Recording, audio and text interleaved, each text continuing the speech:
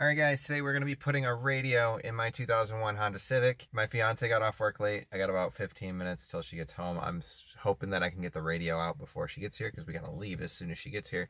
Uh, but take a look at what's in my car right now. I have this aftermarket radio in here. I'm putting in an Android radio. In all the videos that I've watched, you normally pop up off something around here and then like take some screws out up here and pop off these side panels and pop this out. This is a 2001 and I'm guessing that it's more basic than that because it looks like just this piece pops out and I think it's just clips holding it in. So I'm going to start with that. After that, there should be two screws underneath and then this whole entire centerpiece should come out. So I'm going to give that a shot really quick.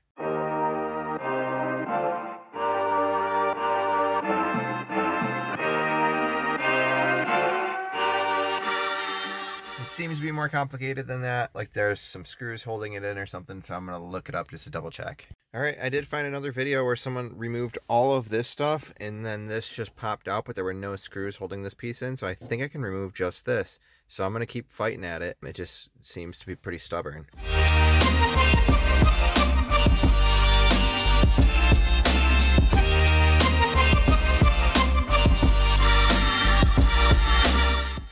So that did just pop out. I smashed my finger a little bit on there, which kind of sucks.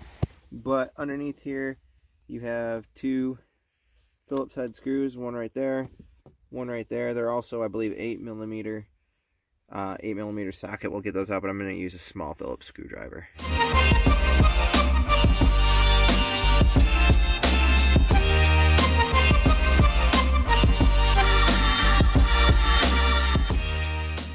Now that those are out, this whole entire thing should pop out. I'm going to try to just use this as a handle. Eh, might not be the best idea. There we go. Realistically, what you would want to do is maybe go in from under here and push back to get this thing out. Either that or use a trim tool around the outside here, but it seemed pretty stuck. I think the best way would be from from underneath.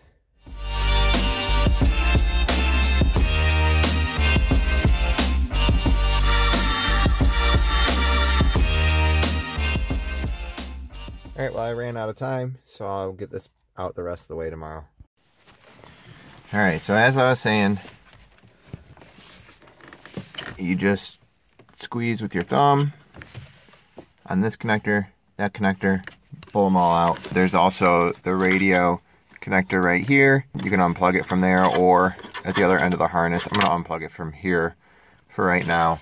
You also have your, your antenna cable that can unplug right there. And then you have your controls down here that also unplug. You can see this plug in here. And I believe that's it. So I'm to go ahead and unplug all of those.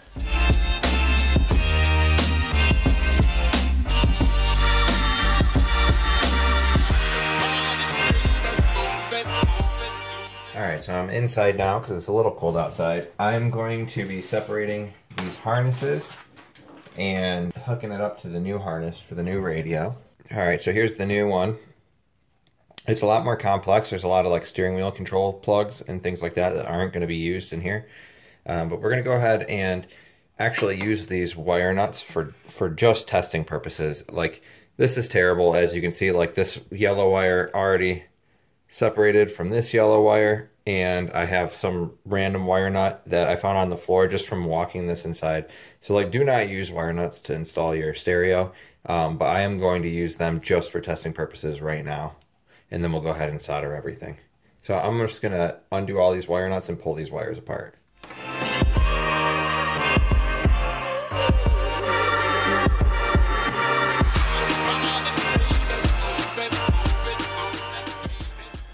Okay, so now we have this. One thing that we're going to keep in mind is there are two dimmer wires right here.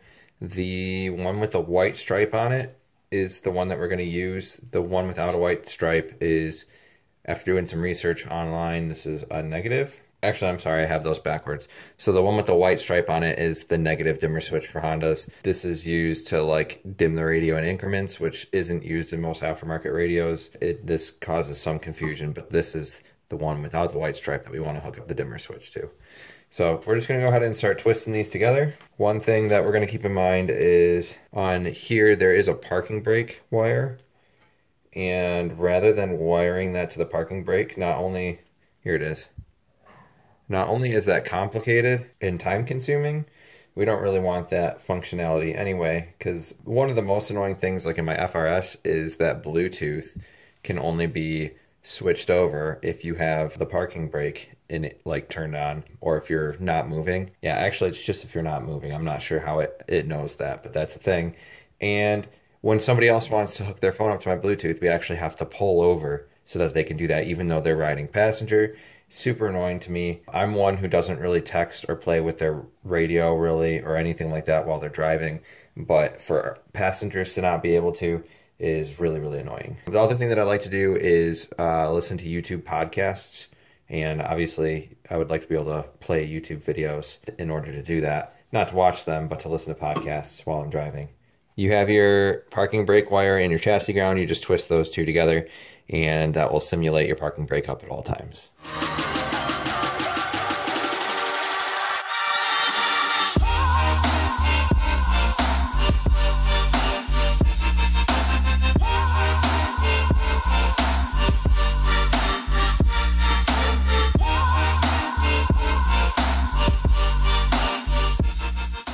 Alright, so that didn't take long. We have everything important twisted together. The only things that aren't twisted together that will be soldered together is a power antenna, which I'm fairly certain isn't used for anything, but there is a wire that this goes to on the Civic side, so I just want to make sure that it's connected. And the dimmer, um, I'm just short two wire nuts, so I'm just not going to connect those. But we're going to go ahead and test the radio now. This is the radio that we're using, this ATOTO A6. I think this is like one model up from the base model or something like that. It's supposed to have Apple CarPlay and Android Auto, and it was really cheap, like 150 bucks. I'm not trying to put anything amazing in the Poop Civic, so we'll go ahead and throw this in and uh, test it out. Okay, so I went ahead and plugged in all the little antennas and everything that comes with this, as well as a little iPhone USB cable to see how it works exactly, just to test it all out. So I'm gonna go ahead and power it on by turning the keys forward. Looks like it turns on immediately, which is so nice. How come it doesn't have to like boot up? That's crazy. Touchscreen works. It's like a, a really nice capacitive touchscreen. I'm actually pretty surprised. I'm gonna go ahead and test that the radio works.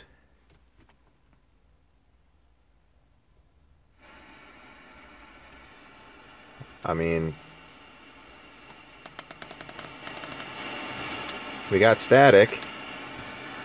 Alright, well, I'm to go ahead and play some music through this thing, make sure that sound's coming out of each of the speakers. Uh, I'm to test the Apple CarPlay as well as the Wi-Fi and GPS antennas and uh, just make sure everything checks out on this. I'm not to really show it in the video, but just know that I've gone through this radio completely and made sure everything works. Alright, so um, I'm going to go ahead and solder all this now. The head unit does work the way that it's supposed to. I thought that this was supposed to have Apple CarPlay in it, but it does not. Uh, it's actually the cheaper model that has it built in. This one you have to buy a dongle for, which I didn't realize that when I was upgrading to the better model. I would have just bought a completely cheaper head unit if I knew how to buy a dongle anyway, or a more expensive one that had it built in. But Either way, we're just to go ahead and, and finish soldering these together.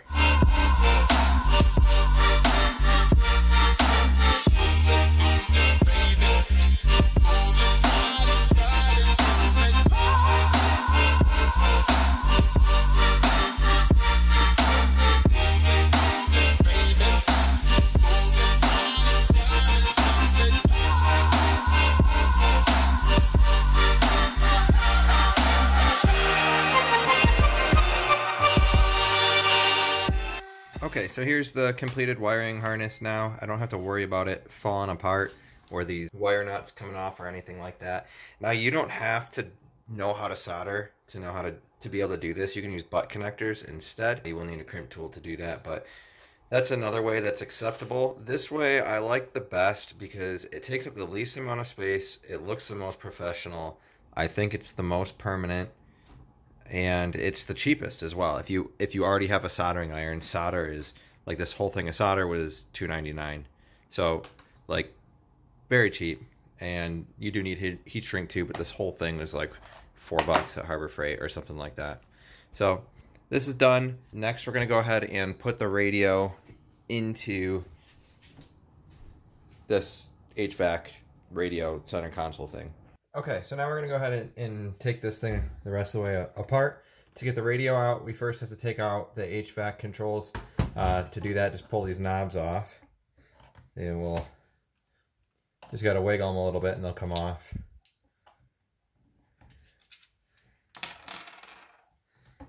And then flip it over and there's three screws.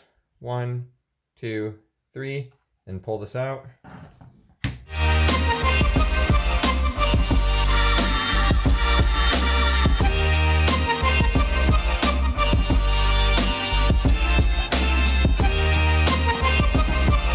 Once that's out, there's uh, on mine, there's only one screw on each side of the radio holding it in, so I'm gonna take out this screw right here, and then the same screw on the other side.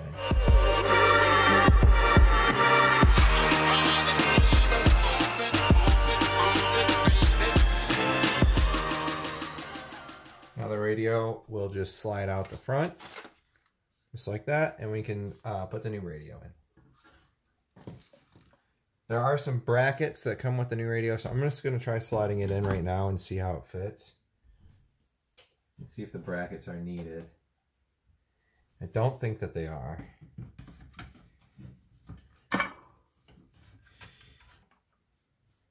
Now keep in mind, mine does have an aftermarket dash kit in it, which is why it's got these angled parts right here. At least I believe so. Unless the factory radio came like that, but I don't think that's the case. But this does need the outer bezel. This will, however, bolt up as is.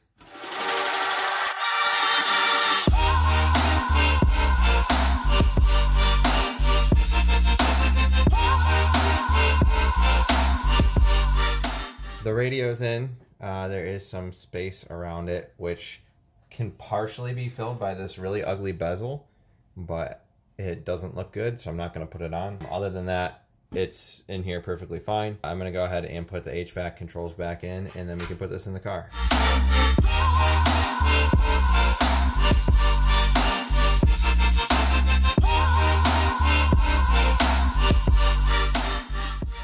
All right, I put the HVAC controls in. Now, the next thing that we want to do is mount our GPS antenna and uh, our Wi-Fi antenna. We're to do that. I can't, you're supposed to mount the GPS antenna right under the top of the dash, and I can't get to it through here. So I'm actually going to take out the speedometer and see if I can see if I can mount something back up in there.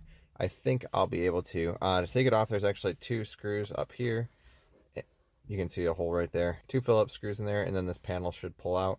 And I think there's a few screws around the speedometer.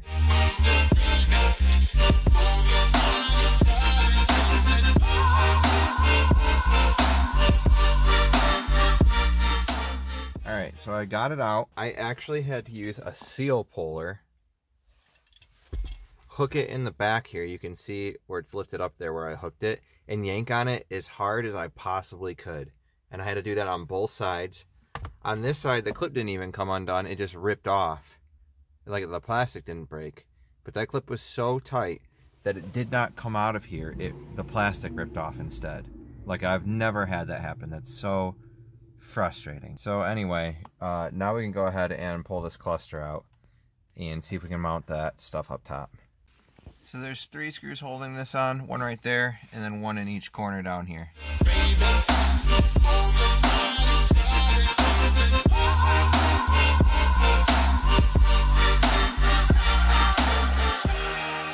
Okay, so this is perfect. There's a dash pad here. You can peel it back a little bit and then we can just mount both of those things up here. One for Wi-Fi and one for the GPS. And that sits right behind the speedometer. That's going to be perfect right here. So I'm going to go ahead and stick those sensors in.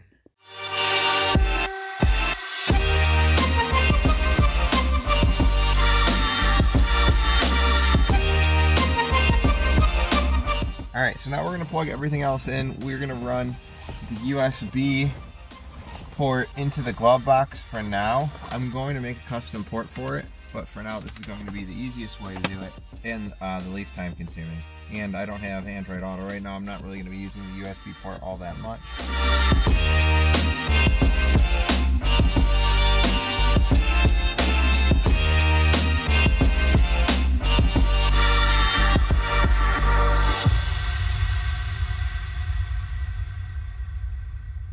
All right, so here's the finished product. Everything's back in. I know this is a little fingerprinty right now, um, but no big deal.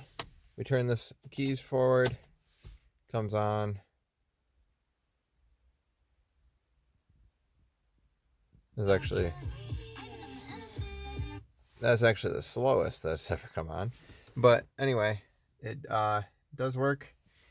And, and let's see if Wi-Fi works. It does say there's Wi-Fi networks available. Okay, so the Wi-Fi is working. See if YouTube will load. It probably won't play anything. It needs some updates. Yeah, play services need to be updated. So, well, anyway, there you have it. Radio's finished. All right, so I'm just uh, finishing off this video to show you that I did get this adapter for Apple CarPlay. I thought that I was going to be able to install a USB and make it look like pretty OEM. Let me let me show you what I had in mind. So I wanted to cut a little hole in this, Dremel it out, and like sand it down really good so that it looked OEM and flush mount this USB port in there, glue it into place so that we had a USB port right here. But then what ends up happening is you have to plug this in to use the CarPlay so then my idea was that I was just going to have this USB port be the one that's sticking out here. The problem is this is the only quick charge port for this radio. This is also the only port that can use this adapter. So if you want to quick charge your phone, you have to unplug this adapter and plug it directly into that port. The other option I guess I could do is install a USB port that's for quick charge and then have this one for Android Auto and just have them completely separate, but I don't really feel like doing that right now. Maybe sometime in the future. But for now, I'm actually just gonna leave this be and and just keep this port in the in the glove box. Um, I'm gonna go ahead and hook up my phone and show you how this works. Once again, I don't really recommend this radio. It's after using it, it's it's pretty slow. With this, it's perfectly fine. So if you have CarPlay running on this radio, it, it runs absolutely great. Otherwise, it's a little bit slow. It's kind of tedious to turn on your phone's hotspot all the time to get, you know, Spotify and maps and everything working on there. So I just I, I recommend this.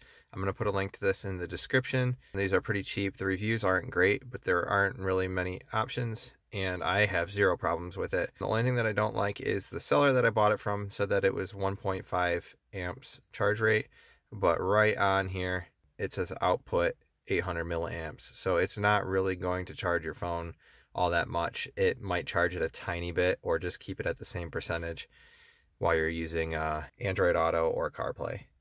Um, but let me just go ahead and hook everything up and show you how it works. All right, so the one thing that's nice about this radio is that it does boot up super fast. So I can just go ahead and turn my keys forward and the radio pretty much turns on instantly. That's almost always the case.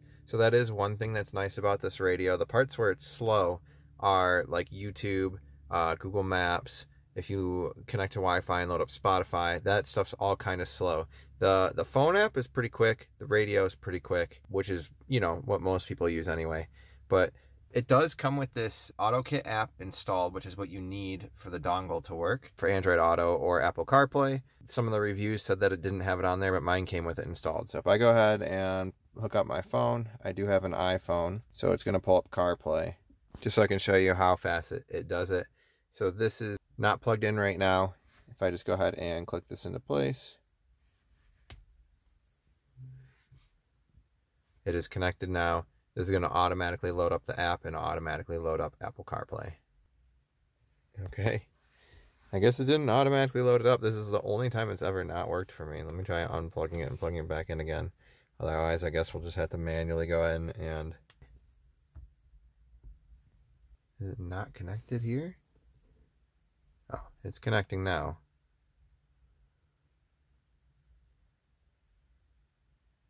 Okay, so now we're in Apple CarPlay. We got Google Maps up here on the side, Spotify, and phone. If we click this, you can go to your phone calls. Click Spotify, you can go to your music. I'm not going to show you Google Maps because I don't want to show you where I'm at.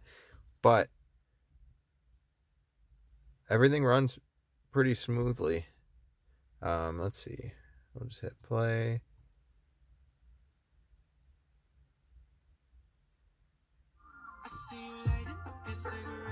So that's cool. And it will automatically continue playing if you disconnect your phone and reconnect it. Okay, so it's disconnected, goes back to the main screen, plug it back in, it should automatically reconnect. It might take a minute. Okay, so it's automatically connecting. And automatically starts playing your music again. So anyway, that's how it normally works. And then you can still go back into the other parts of the radio by hitting the home button. If you want to go back into CarPlay, you just hit AutoKit and it pulls you right back in. But I mean, that's that's really my whole review. And just to see, you can still close the glove box. I have the dongle in there plugged in with my cable plugged into it. That's pretty much it. Well, that's how to install a radio in a 2001 to 5 Honda Civic. It's going to be different for different center consoles, um, but other other than that, it's pretty much the same process. But anyway, thank you guys for watching. If you liked the video, go ahead and share it. Give it a thumbs up. Feel free to comment. Uh, shoot me any questions to my DMs on Instagram, which is going to be in the description below. And then also I'm going to put a link in the description to this radio that I don't recommend, but I'll put it in there anyway. And then the CarPlay adapter slash Android Auto adapter. All right, well, thank you guys so much for watching and peace out.